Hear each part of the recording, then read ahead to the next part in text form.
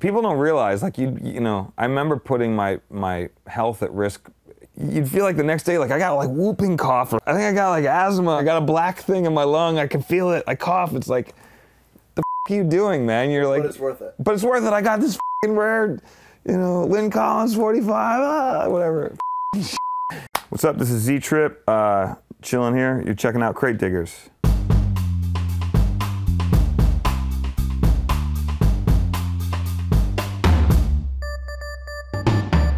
I kind of stopped uh, counting at one point because it was like it just it, trying to keep a tally in my mind of everything I had. Is, I just sort of gave up. But um, last I checked, I have about 25, 30,000 records here. I probably have about the same or a little more in storage. That's what you would do as a digger, as uh, you know, collecting music. It was tough, man. I, I lost a lot of girlfriends to this because you know we would go on vacation somewhere and it'd be like you know the plan might have been to like go to a park and then go to dinner and then go to a movie. And before I knew it it was like go to the gotta go to the record store. And she knew like this is how I make my money. Don't you can't like when the opportunity when it falls in your lap you have to go. And so I would go digging and you know for the first hour or so you know you'd be like hopefully I can get through like all these crates. But then after like two hours three hours because you had to like I'm only here, we're only here this one time. It's open, I'm here, I'm finding this stuff. And um, I remember pulling out like amazing records out of some of these places, but you know, losing a lot of relationships to it. But that's just what you had to do, man. You know, that was the gig. This one is, uh, is one that I found super, super rare. It's uh, Radio and Eazy-Duz-It by Easy E, but it's the acetate. So it's the, you know, when they would do, when they would record something, um, they would press an acetate of it, which might be like, you know, hey, let's listen to what we did today in the studio and take it home and listen to it. So it's sort of like a test press, um, and it's made out of uh, acetate, which is why they call it acetate. But um, so it's it's a, if you listen to it, it's kind of tinty and it's funky, and you can only really play a couple, a couple times before it really sounds like. Shit. But um, I've only played it a couple times. But you know, April fourth, 1988, uh, Ruthless Records, 12 inch. Um, you know, these are the things you find when you really are digging out there and you you stop and you you lose the girlfriend.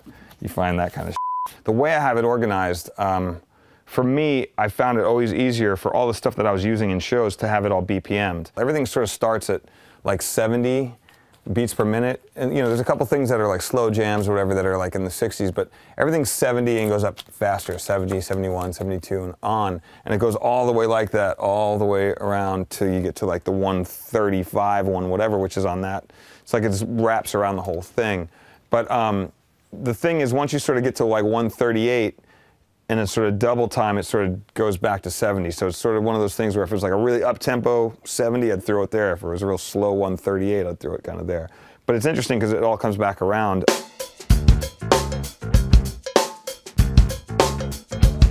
Try to find a record that makes sense. Let me find something that. All right. Oh, here we go. Uh, MC 900 Foot Jesus, uh, going straight to heaven. This was this dude. I loved his stuff, and DJ Zero was pretty dope, but uh, he had a song called While the City Sleeps that was one of my favorites. But Nettwerk Records did a lot of industrial stuff, and these guys were sort of hybrid, sort of industrial um, hip hop. And uh, yeah, man, I dug this stuff. It's really, really interesting dude. I lived in Little Neck um, growing up, and so, and then my parents moved to Arizona.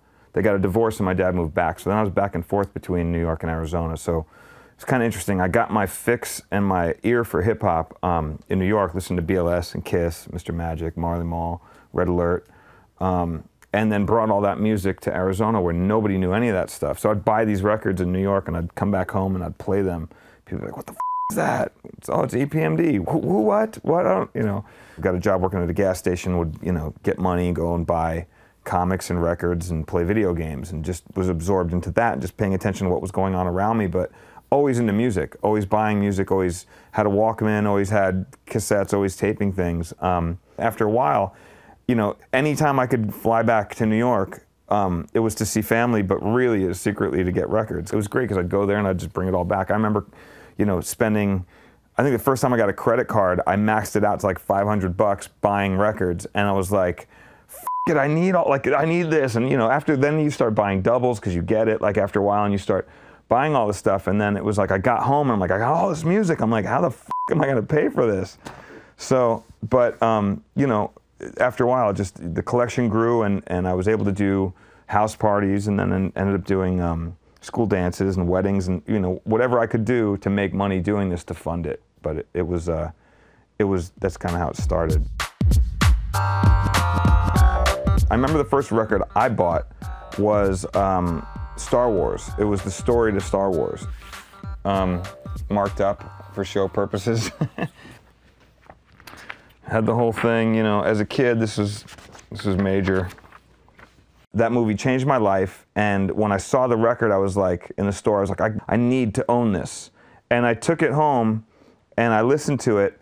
I saw the movie in my head. You know, it was like one of those things where it's like old time where you turn on the radio and you know you'd have to visualize. I listened to it backwards and forwards, and um, to this day I could recite the whole thing because I listened to it so many times. You know what I mean? And um, from time to time I'll still throw little bits and pieces of it into a mix just just cause. This is really starting to get into really cool stuff. Uh, Test Press, a show vinyl that Shadow did, basically his show vinyl that had all the parts separated. So this is really something that's like specific that only he would have, or I would have, or the people that remixed his his stuff would have. Mixmaster Mike actually gave me this one. This is basically the instrumentals to um, to all the songs, the Beastie Boys songs. Um, anytime you're talking about show vinyl from back in the day, or you come across it if you're digging around, it's um, you know, as an artist, you'd press up your show vinyl to actually be specific to your show, so you wouldn't have to like bring a crate of records with all the breaks. You just press them up. But this is like all their instrumentals and all their breaks and things that they would use at the show. I like to buy and I would always like to play really bizarre and different records. Anything that was off the beaten path of what everybody else was playing. So I found this um, Cookie Monster C is for Cookie 12 inch that Larry Levan um, produced, um, not produced, but remixed. But um, and so I only had one, and there's this really interesting sort of like conga breakdown, disco breakdown, and I only had one. And it's not a record that you'd really play the whole thing to get to the break because it's really like, oh, it's C is for cookie. Then you need the break. You can't be like C is for cookie, C is for cookie, C is for cookie for like three minutes before this drum break because people would look at you like, what are you crazy? So I wanted to get another one so I could actually just sort of be like, oh, that's so funny and drum break, keep dancing, keep moving. But it was a really hard 12 inch to find. So I found my second one in Japan, and I think I paid like 75 bucks for it. Um, and that's pretty much the most I would pay for a record. This one uh, from Common, this is back in, uh, what was this, 94? Uh, I'll read it to you. It says, uh, To Z Trip, what up, brah? You got skills on the one and two? Keep it flowing. Common, Chicago. Just kind of cool, like a little sign of the times, because he and I have the same lawyer now. My thing is, I, I was sort of the king of the dollar records, man, you know? When everybody would go into the record store, I remember going shopping with like Shadow and Cut Chemist and Nu-Mark and, and these guys, and, and we'd all, uh, you know, we'd all go into the record store at the same time, and those guys would always sort of gravitate towards one section. And I thought that was dope because they were all like trying to find these records, but meanwhile, I was like, there's no way I can compete with these dudes. They're, they're deeper in their funk and their jazz than I am um, I'm going to go to the rock section, or I'm going to go to the kids section, or I'm going to go to like the spoken word section. Anywhere they're not, that's where I'm to be. And I would come up and find the craziest shit. And then we'd all compare stuff at the end of the day. And, you know, they'd be playing me these um, tremendous breaks that were just like amazing, these 45s that were just burners that I was like, I'll never find that, especially with you being in the store. No way I would find it. But check out this record I got from, you know, Trinidad with a steel drum break. It's like, and people are like, whoa. I'm like, yeah, that's right. While you were over there, I was over here, and I found some really bizarre shit. This is one that I found, um, and I used it on my Live in LA CD, and it was uh, Sesame Street Born to Add. And um, there's a, a, version that they did of Barry White, and it's called Me Going to Munch You, Munch You, Munch You, and it was Cookie Monster doing it. It was the um, I'm Gonna Love You a Little More is the Barry White joint with a break on it. And uh, I remember uh, I ended up opening up for the Roots um, a while back, and uh, Questlove comes walking into the building, and I'm setting up. He's like, "Yo, that CD, man, amazing." I was like, "Yo, thank you." Like, you know, big fan of his stuff. he, he, hit me up, hit me up and he was like, dude, what is that? What is that version, the Muppets version of that song? I'm like, dude, I got you. And uh, I, he could never find it, so I ended up sending him an MP3 of it, and uh, it was from this one. And it was, that was sort of the, the moment where I was like, oh, I got Questlove validation on some Sesame Street. Oh, yeah, actually, it was when Amoeba Records opened in San Francisco. Um, I had all these records that I had already owned, and a lot of them were like rock records and rock breaks. I, I knew my rock records left and right from my brother growing up. Um, but some of them were just dusted. You know, you'd beat the out of double copies. So I remember uh, going to San Francisco, my friend's like, yo, check out this new store. It's called Amoeba. They just opened. They've got so many records. I walk in, it's like this old bowling alley, right? Filled with records. I was like, Jesus Christ ah, I lost my mind. I went in there and all their records, they had like premium records up top, but then there was like all the the basic records, like the rock records and the you know whatever, all a dollar. And I was like, ah. So I just lost my mind, and I think I spent like a thousand bucks or twelve hundred bucks, but like. I cleaned up on every single record that I ever needed a double of, or new copies of, or if I had a warped one, I was like, it. It's a do- like I didn't even think. It was like, oh yeah, that just put throw in the bag. Before I knew it, I had, you know, whatever eight or nine crates of records, uh, boxes, uh, not crates, but boxes, and I was like, how am I gonna get these home? And I flew home, and I basically had to bring them all to Southwest, and I was like, there's you could only have X amount of bags at the time, and I was like, look. Uh, just like my crack fiend with the music. I'm like, uh, you know, I try to explain it to the chick, and you know, thank God she she's you know, there was she was cool and she ended up charging me like 50 bucks or something. But she was like, really? And I'm like, yeah, you know. So I ended up like having like 10 bags or something. Oh, this is a great record. This is a really dope record. DJ Jail and Mr. Dibbs did a, a record about like secret societies and and um, Illuminati and that kind of stuff. And Doze did the cover, and um, Future Primitive put it out. I was always trying to, to take two worlds and combine them um, complete visionary, way ahead of his time. Uh, had a little bit of time on the business side, but as a visionary, way ahead of his time. Um, and this is one of the records. This is a really rare record, actually.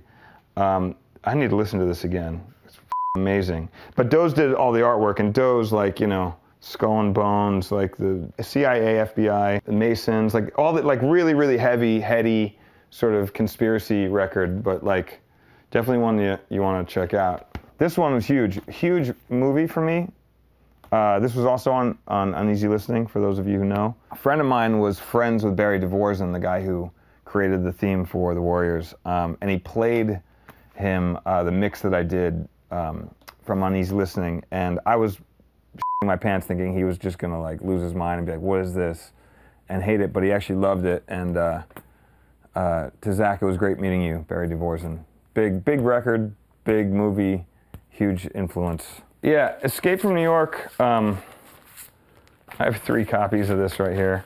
This movie was amazing at the time when it came out. Here's John Carpenter and um, Alan Howarth in the studio, and if you look around at all the synth gear they have, they were making this music, and this music is so like it was so apocalyptic and moody and crazy, and uh, you know, at the time, I mean, look at all the instruments, Prophet 5, ARPs they used, Roland sequencers, uh, LinnDrums, you know, like basses. And for the time, this was really, really over-the-top electronic record. And uh, the, the, the movie was equally as amazing.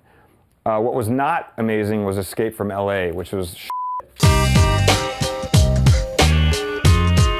you know, the bigger your collection, the bigger your palette, the more you could say, the more you could choose from. And um, I, I recognized that early on. The best thing is doing a club or doing a show, uh, and you know the crowd loves it, and everyone digs it. But the best thing is when you're packing up. You know what I mean? Everyone's left and they've kicked everyone out, and the random door guy or whatever comes up and is like, "Yo, man, I listen to a lot of motherfuckers play here. That was dope. I liked what you did." Or the bartender's like, "Yo."